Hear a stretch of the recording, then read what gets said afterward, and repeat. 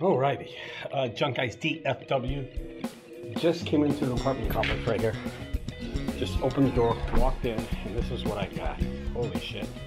Alright, so this episode is what would you charge? What would you charge for a junk removal like this? Okay, so we're gonna take a look at what we got. That's the front door. Here's some of the trash right there. Look at that. Ooh, nice trash can. Trash right there. Some trash over here. Mostly everything's gone. It's another room right here. So this is a kid's room. Looks like the master bedroom is, well, no, the master bedroom's over here. So we're just looking at this one time. Alrighty. Yeah, this is the master bedroom because it has a restroom right here. That's the restroom.